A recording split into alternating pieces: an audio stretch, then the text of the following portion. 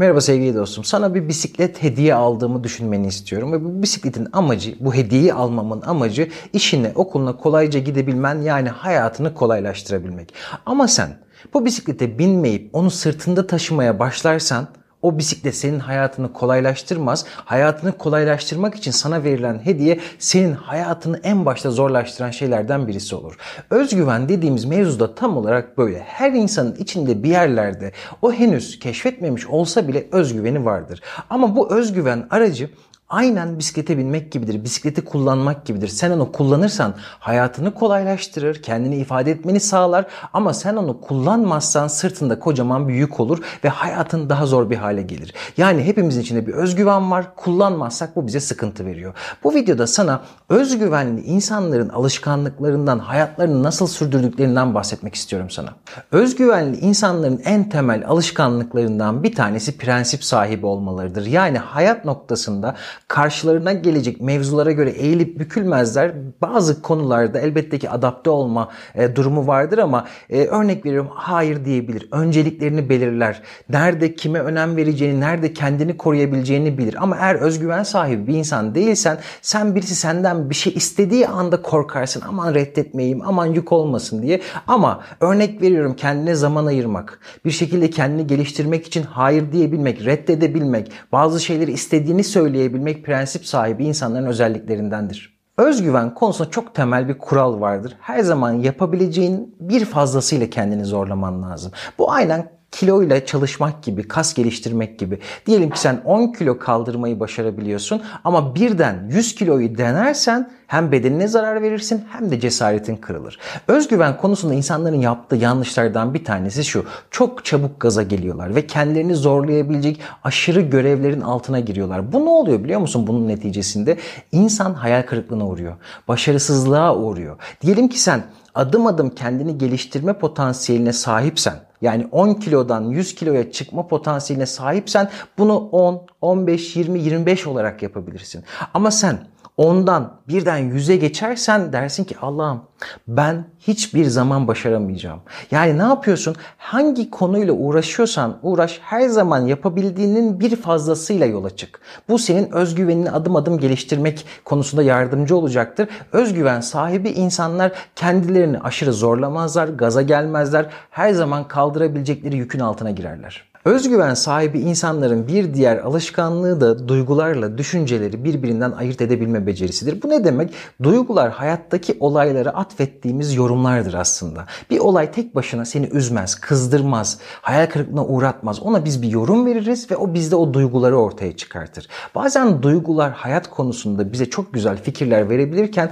bazen yanlış alarm vermemize sebep olabilir. Nedir yanlış alarm? Mesela sen çok başarılıyken kendini çok başarısız hissedebilirsin çok güzel bir konuşma yaparken Allah'ı mahvettim diye düşünebilirsin. İşte böyle durumlarda düşünceleri ve duyguları birbirinden ayırt edebilmek lazım. Sen çok çirkin hissederken de güzel birisi olabilirsin. Çok başarısız hissederken de başarılı birisi olabilirsin. Bu ayrımı fark edip şu an hissettiğim şey benim gerçekliğimi belirlemiyor diyebilmek gerçekten önemli bir yetenektir.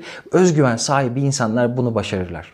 Modern zamanda şöyle bir yanılgı var. Ben hangi konuyla uğraşırsam o konuda başarılı olabilirim. Yani attığım her adımın hemen karşılığını almak gibi bir beklentisi var bazı insanların. Bu bir modern zaman yanılgısı. Ama hayatta başarısız olmadan, bir şekilde duvara toslamadan, e, e, o baltayı taşa vurmadan bir yere gelmek mümkün değil. Hatta şöyle söyleyebilirim. Neredeyse 3-4 başarısızlığa belki daha fazla başarısızlığa bir başarı ancak düşüyor. Ama sen kırılgan bir insansan ve beklentilerin her zaman başarılı olmak yönündeyse başarısızlığı hayatına genellersin. Bir konuda başarısız olursun ve elini e, başını ellerinin arasına alırsın. Allah'ım mahvoldum, bittim, benden bir yol olmaz. Ben bunu başaramıyorum. Halbuki hayat bir masal değil ki. Dümdüz bir çizgide gitmiyorsun zaten her zaman başarısız olacaksın. Bunu kendi hayatına genellemek yerine olay bazında değerlendirmen lazım.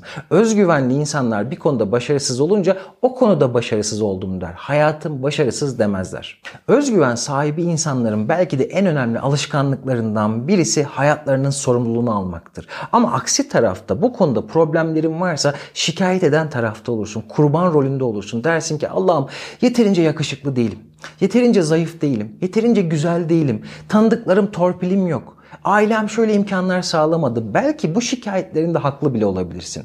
Ama devamlı şikayet ettiğin zaman bu şikayetler sana hiç çaren yokmuş gibi gelir. Senin elini kolunu bağlar ve ağzını bir kuş yavrusu gibi açarsın. Birisi gelsin sana hayat noktasında destek versin gibi. İşte böyle olunca o destek de kimse tarafından gelmez. Sen kurban rolünde hayatına devam edersin. Birileri sana elbette yardım edecek ama bu yardım hayatını değiştirmeyecek. Hayatını değiştirebilecek güçteki bir adımı ancak sen kendin atabilirsin. Ve bunu da şikayet etmeyerek, sorumluluğu alarak yapabilirsin. Şimdi şöyle bir yanılgı var. Ee, özgüven konusunda problemi olan insanlar bu konuda başarılı olan insanları, kendilerini iyi ifade eden insanları başarı fetişisti zannediyor. Her konuda uğraşıyor, inanılmaz hırslı. Halbuki öyle değil. Böyle düşündükleri için de bu konuda problem yaşayan insanlar kendi hayatlarına geriye dönüp baktıkları zaman şöyle düşünüyor. Allah'ım ne kadar başarısızım. Sanki geçmişindeki Beyhan karşısında oturuyor ve onun bir suratına tükürmediği kalıyor. Aptal başarısız, sen neyi başardın gibi. Halbuki Öbür tarafta işler zannedildiği gibi yürümüyor. Başarılı olan, özgüvenli olan insanlar geçmişindeki başarısızlıklara karşı bir şekilde affedici yaklaşıyorlar. Evet, uğraştım, belki tembellik yaptım, belki erteledim, hatalarım da olabilir. Affedici yaklaşıyor. Diyor ki başarısızlığa hakkım var Beyhan. Yola devam etmem lazım. Bu hatalarımdan dersler çıkartmam lazım. Böyle olunca kendime de iyi davranmış oluyorum. Kendimi hatalarım için affetmiş oluyorum. Yeni başarılara şans tanıyorum. Ama durmadan vuracağım kırbacı, vuracağım kırbacı diye yaklaşırsam kendime o öbür tarafı, içimdeki o özgüvene ihtiyacı olan bene bir şekilde çok eziyet ederim. Onun hali mecali kalmaz. Hiçbir şey yapmak istemez. Bir insanın kendisine güvendiğini ilk bakışta nasıl anlarsın? Dik duruşundan, kendinden emin duruşundan değil mi? Belki sen de öyle durmak istiyorsun ama benim özgüvenim yok. Ben bir şekilde kendime güvenmiyorum e, dediğin için o duruşu sağlamıyorsundur. Mantıklı bir tercih etmeme durumu olabilir ortada. Eğer öyle olmasan bile, kendine güvenmesen bile o şekilde dik duruşu sağlayabilmek gerçekten önemlidir ve sana iyi hissettirir. Bedenin, boyun, posun, var olan halinle bu dünyada olabildiğince kendin olabilmek, dik durabilmek, vakur durabilmek sana daha iyi hissettirecektir. Etrafındaki insanlara bak. Özgüven sahibi insanlar her zaman dik durur, kendinden emin durur. İçeride öyle hissetmeseler bile. Burası var ya burası acayip önemli. Zaten bütün mevzumuz burada olup bitiyor. Şimdi sen zihninde gelecekteki yapacağın, maruz kalacağın şeyler hakkında muhtemelen devamlı hayaller kuruyorsun. Farkında olsan da olmasan da. Ve sen bu konuda yani özgüven konusunda problemlerin varsa o hayaller senin düşmanın gibi çalışır. Diyelim ki bir mülakata gireceksin, birisiyle tanışacaksın, bir yerde konuşma yapacaksın. Herhangi bir şekilde seni kaygılandıran bir olayla e, maruz kalacaksın. Orada o zihin makinesi, hayal makinesi şöyle çalışmaya başlar. Başarısız oluyorsun. İnanılmaz kötü senaryolar. İnsanlar senin yüzüne yüzüne tükürüyor. Allah belanı versin ne biçim anlattı adama bak gibi. Ve sen bunu düşündüğün zaman farkında olaraktan ya da olmayaraktan sanki öyle olmuş gibi boynum bükülüyor, omuzlar düşüyor. Allah'ım ben başaramıyorum ya diyorsun. Halbuki öyle değil. Evet bunu otomatik yapar zihin çoğu zaman eğer böyle bir tarafın varsa. Tamam bunu yaptın. Hadi sırada güzel hayallerde. Şöyle rockstar gibi çıktığını, insanların seni sırtında taşıdıklarını düşünsene.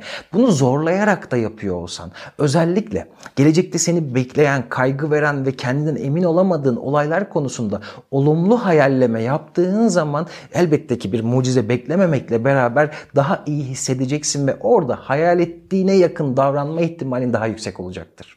Peki sevgili dostum sen etrafındaki özgüvenli insanlarda ne gibi davranışlar, ne gibi alışkanlıklar gözlemliyorsun? Eğer sen böyle bir insansan senin ne gibi alışkanlıkların var? Bunu yorumlar kısmında bizimle paylaşabilirsin. Beni dinlediğin için teşekkür ediyorum güzel insan. Kendine çok iyi davran. Görüşmek üzere.